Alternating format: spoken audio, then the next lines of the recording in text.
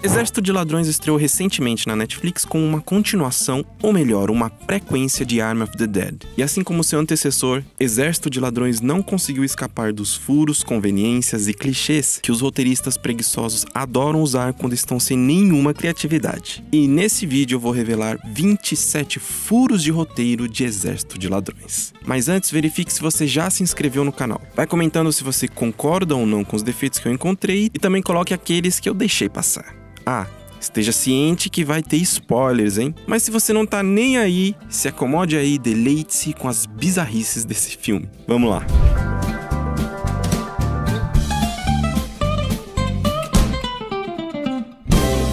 Primeira cena do filme, Sebastian, nosso querido protagonista, grava um vídeo contando uma historinha sobre o criador dos cofres, que mais tarde seriam abertos por ele. Bom, até aí nada demais. O problema é que no fim do vídeo ele se despede dizendo ser um arrombador de cofres. Eu sou o Sebastian Schlant Wuner, o arrombador de cofres. Existem dois probleminhas aí, meus amigos. Primeiro, que ele só pode ser tonto por divulgar na internet uma atividade criminosa que ele é capaz de executar. A polícia tá ligada na internet, vasculhando brechas como essa que o nosso protagonista deixou. Então, se você faz algo que pode ser considerado um crime, não poste na internet, a não ser que você queira ser investigado e até mesmo procurado pela polícia. Segundo, que tecnicamente ele não é um arrombador de cofres porque arrombar significa abrir a força. E como mostrado em Arm of the Dead e também na sequência desse filme, em nenhum momento ele usa de violência para violar os cofres. Então, ele não é um arrombador de cofres. No máximo, ele é um abridor de cofres. O filme segue e a gente vê que o Sebastian trabalha como atendente bancário, um trabalho bem chato segundo ele mesmo. Chegando em casa, ele abre o YouTube e vê que alguém comentou em seu vídeo, pedindo para que ele fosse até um local para provar suas habilidades. E ele decide ir. Chegando lá, ele descobre que naquele local acontecia uma competição clandestina de arrombadores de cofre. E ele convenientemente ganha a competição, sendo recrutado em seguida pela Gwendolyn, ele entra para a equipe dela formada por pessoas de diferentes habilidades.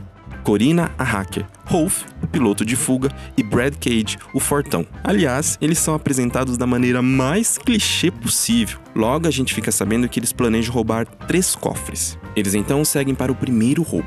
Obviamente, eles não tiveram tempo para treinar o novato no mundo do crime e resolveram confiar as suas liberdades num iniciante sem experiência nenhuma. A Corina consegue então magicamente hackear as câmeras e colocar imagens em loop para facilitar o trabalho do roteirista é, dos ladrões. Tudo certo, as câmeras já estão em loop. Eles entram no banco, enganam o pessoal lá e conseguem chegar ao cofre. O que chama atenção é que tinha somente um guarda no banco, esse cara aí. E para piorar, ele fica fora do banco. Por que um banco que possui diversos cofres teria apenas um guarda? Será que eles confiam tanto assim no sistema de segurança?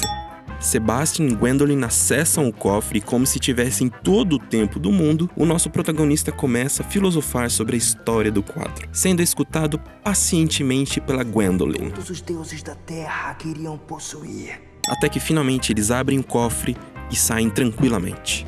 Na Interpol, o investigador Delacroix aparece analisando os vídeos do roubo, o que é impossível, já que a Corina deixou as câmeras em loop. Eu acho que o roteirista esqueceu o que ele escreveu.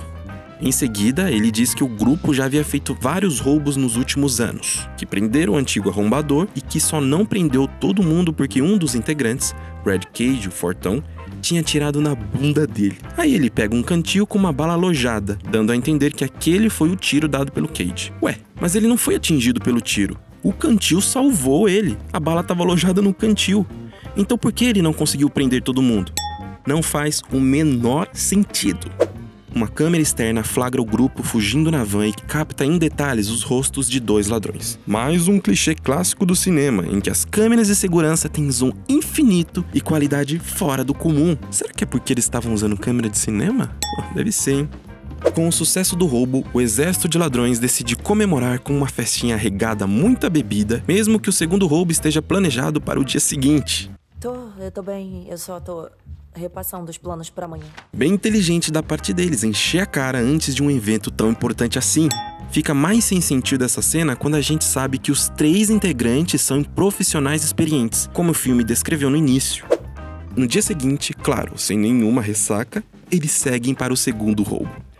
E já próximo ao cofre, ao saírem do elevador, eles se deparam com dois seguranças.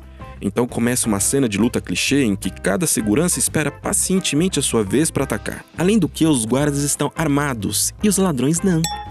Mas acho que eles esqueceram disso e acabaram se ferrando. Bem feito. Bom, na sequência, eles são descobertos e o Brad bota o plano bem em ação. Ele veste uma máscara e entra no banco fingindo um assalto, apenas como distração. Ele invade o banco e começa a tirar dardos tranquilizantes nos seguranças que, convenientemente, não possuem nenhuma arma para revidar. Ai, como eles são bonzinhos. Aí fica fácil. Enquanto isso, a gente fica sabendo que o investigador acabou indo ao banco errado, mas que burro! Um funcionário do banco diz a ele que, devido à alta segurança do cofre, ele havia sido transferido para um banco de maior prestígio.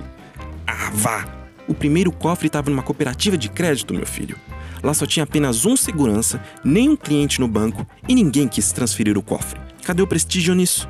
Conta outra. Voltando ao banco certo, durante a fuga, o Sebastian e a Gwendolyn saem correndo desesperados em direção à van. Temos dois problemas nessa cena. O primeiro é que eles só saem com duas bolsas de dinheiro. Convenhamos que daria para sair com umas quatro, né? Se vai assaltar um cofre, meu filho, garanta que isso dê uma boa grana, já que o risco é muito alto. O segundo problema da cena é a van. Alguém me diz por que, que ela está em movimento enquanto os protagonistas correm desesperados atrás dela. Isso só dificultou e atrasou a fuga deles. Se a van tivesse parada, seria muito mais fácil e rápida a fuga. Me parece que o roteirista achou que era um trem, sabe? Quando o trem tá correndo e não pode parar, aí o, o cara sobe no trem, aí tudo bem. Mas não era esse caso, né? O Sebastian então é traído e jogado da van em movimento pelo Brad. Depois ele segue a sua fuga sozinho. Fica difícil acreditar que o Sebastian, um cara bobo e com a mente de uma criança de 10 anos, consegue consegue despistar de bicicleta toda a polícia, que tinha dezenas de agentes, carros e até um helicóptero. Ouve aí. Nem ele acredita nisso. Que loucura, como é que eu fiz isso? No fim, a polícia acabou que não foi atrás nem dele, nem da van. É muito bizarro.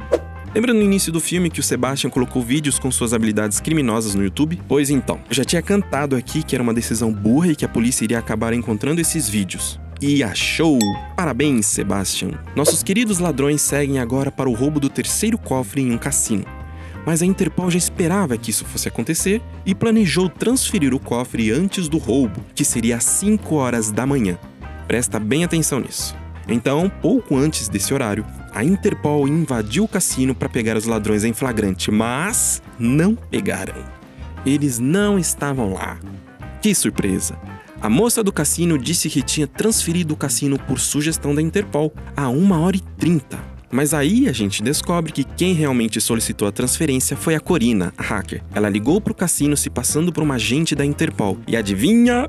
A moça do cassino caiu muito fácil na conversa dela. E eles agiram imediatamente. Jamais passou pela cabeça deles de que aquilo poderia ser um trote, uma armação, uma tentativa de roubo. Não, que isso. Gente, a gente tá falando de um cofre com milhões de dólares. Deveria haver um protocolo rígido para transferir um cofre desse. Mas aqui não. É só ligar lá no cassino que os caras fazem imediatamente, sem consultar, sem verificar. Ah, vá merda. Então vemos o caminhão de transporte indo em direção ao cassino. Como uma ninja, Gwendolyn surge magicamente dentro do caminhão e ataca os seguranças. Ataca! Como é que ela conseguiu entrar ali? O filme não tá nem aí para te explicar. Enquanto isso, a Corina sai da van que estava em frente ao cassino. Vai pro terraço onde tem um agente da Interpol que vigia com uma sniper. Ela se aproxima dele e dá um soco na cara dele. É, gente, estamos falando de uma nerd contra um agente de elite da Interpol. Quem você acha que vence?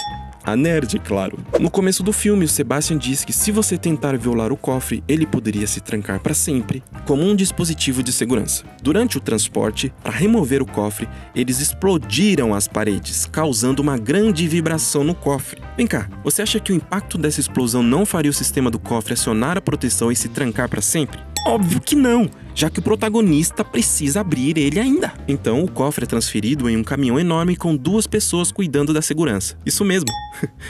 Somente duas pessoas foram escaladas para fazer a segurança de um cofre com milhões de dolls dentro. Você tá de sacanagem, né? Cadê a escolta, gente? Para piorar a situação, a caçamba do caminhão é de tecido, olha aí.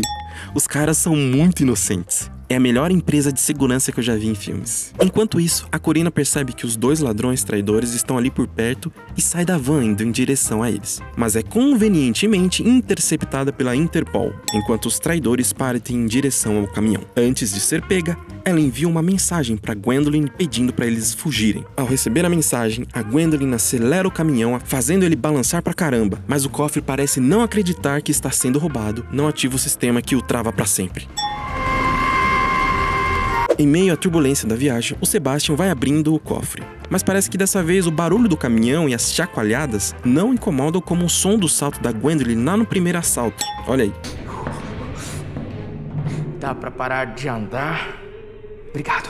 Enfim, eles param o caminhão e conseguem abrir o cofre que visivelmente tem muito dinheiro. Mas os ladrões são bonzinhos e saem apenas com três bolsas. De novo, eles fizeram isso aí, meus amigos. Aí eu te falo que é burrice mesmo. Eles mal saem do caminhão e são surpreendidos pelos traidores. Como assim os caras alcançaram o caminhão tão rápido? Lembra que a moça do cassino disse que o cofre havia sido pego havia uma hora e meia? Então, isso significa, gente, que o caminhão estava pelo menos uma hora na frente deles. Uma hora. Então, como é que eles conseguiram alcançar tão rápido o caminhão? Tem tubo esse carro? Ah, parece que os carros da Interpol também são movidos a jato, já que eles chegaram logo em seguida. Os dois conseguem se livrar dos traidores e pegam o carro deles, seguindo em direção ao pier. Eu dei uma boa olhada nessa cena e não encontrei nenhum outro carro por perto. Será que eles planejavam ir andando do caminhão ao pier? Eles pararam meio longe. Não sei não, viu? Seria bem burro, fala a verdade. Sorte deles é que o roteirista já sabia que o Brad e o Rolf iriam ceder de bandeja o carro para eles. Então para que colocar outro na cena?